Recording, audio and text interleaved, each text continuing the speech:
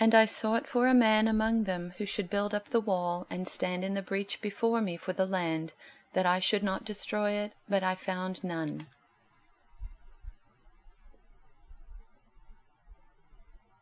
And I sought for any one among them who would repair the wall and stand in the breach before me on behalf of the land, so that I would not destroy it, but I found no one.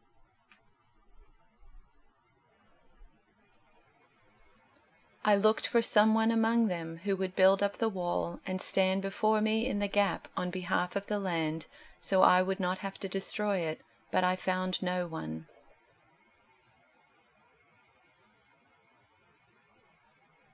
I looked for someone who might rebuild the wall of righteousness that guards the land.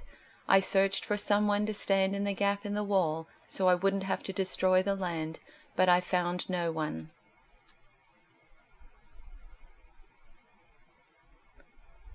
I looked for someone to stand up for me against all this, to repair the defenses of the city, to take a stand for me and stand in the gap to protect this land so I wouldn't have to destroy it. I couldn't find anyone, not one.